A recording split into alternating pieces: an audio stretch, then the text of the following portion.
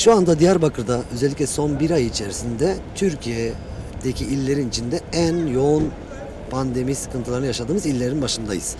Her ne kadar bakanlığımızın son açıkladığı verilerde Diyarbakır 5. olarak geçse de yani e, vakaların yüksekliği açısından 5. olarak geçse de aşılama oranında da yine böyle maalesef. E, gerçek anlamda bir e, yeni bir pik, yeni bir dalga yaşıyoruz. Diyarbakır şu anda ee, yine bakanlığımızın verileriyle geçen haftaki verileri incelediğimizde 100 binde 627 ile Türkiye'nin en fazla vaka görülen haftalık anlamda, bazı anlamda düşündüğümüzde ilimiz. Yani açıkçası etkisi olduğunu düşünüyoruz ama etkisinin e, yansıması biraz daha geç olacaktır.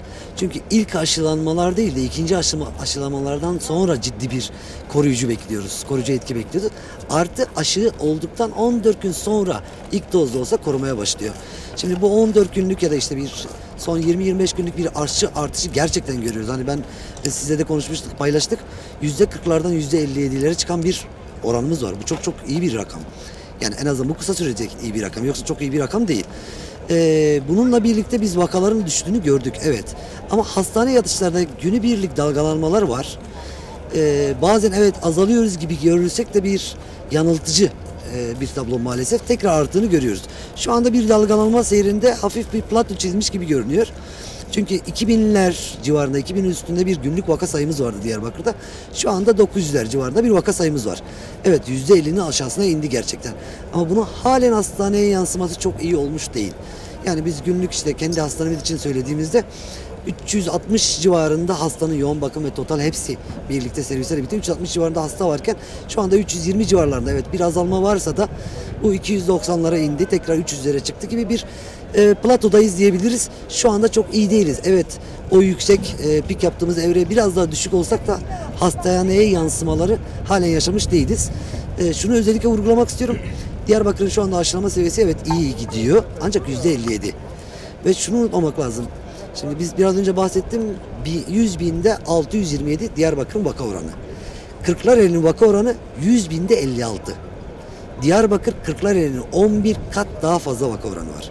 Kırklareli'nin aşısına baktığımızda yüzde seksenler civarı. Bu geçen ay, e, haftanın vaka, e, vaka sayıları olduğu için geçen hafta yüzde 40 civarında, 43 civarında bir aşı oranımız vardı. Bizim iki katımız kadar fazla aşılanmış orası. Önemsediğimiz konulardan biri de şu. Bizde genç nüfus çok fazla.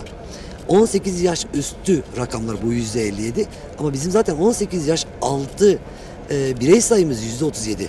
Toplumun üçte birisi 18 yaş altı, yüzde 35'lerde.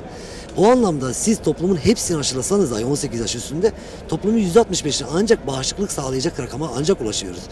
Ki bu yüzde 57 en az tek doz aşı olmuşların sayısı. Yani çift doz olmamışlar bunlar içinde. Çift doza indirde de çok çok düşük. %57'nin hepsinin çift doz olduğunu, koruyucunun tam olduğunu düşünmüş olsak dahi %35 ve çocuk topluluğunu bahsettiğimizde şu anda toplumun sadece %20-25'i aşılanmış gibi görünüyor. Bu çok çok düşük bir rakam yine de. Biz halen turuncu renkteyiz. Turuncu renk dediğim gibi aslında bizim için turuncu halen kırmızı. Bunu özellikle vurgulamak istiyorum. Bir batı iline göre bizim turuncumuz kırmızı ifade ediyor. Bunu özellikle söyleme sebebi şu. Genç nüfusun çok olması. Aşılanmamış genç nüfusumuzun çok olması. Bu anlamda bize turuncu yetmeyecek maviye geçmemiz ve buna hemen geçmemiz gerekecek gerçekten. Biz kendi gözlemlerimizde Diyarbakır'daki gözlemlerimizde kendi hastalarımıza gebelerde daha kötü seyrettiğini ve e, gebeliğin son evresiyle doğum sırasında ve doğumdan sonra loğus evresinde maalesef ölümcül seyrettiğini görüyoruz.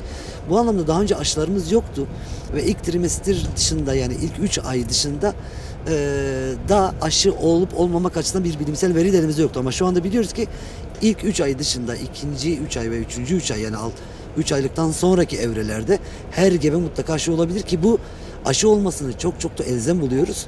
Ee, gerçekten genç hastalarımız, genç annelerimiz vefat ediyor. Mutasyona sık uğrayan bir virüs bu anlamda mutasyona uğramaya devam edecektir. Şu anki delta daha bulaştırıcı gibi gözüküyor. Hızlı ilerliyor gibi gözüküyor.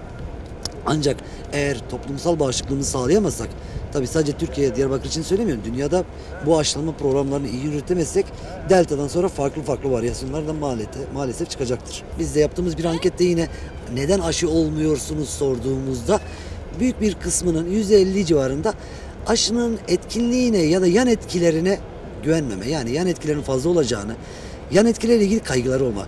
Bu kaygıları giderici bazı şeyleri tabii ki toplumla paylaşmalıyız. Ancak bazı aşı karşıtlarının maalesef bilimsel verilerle ilgisi yok.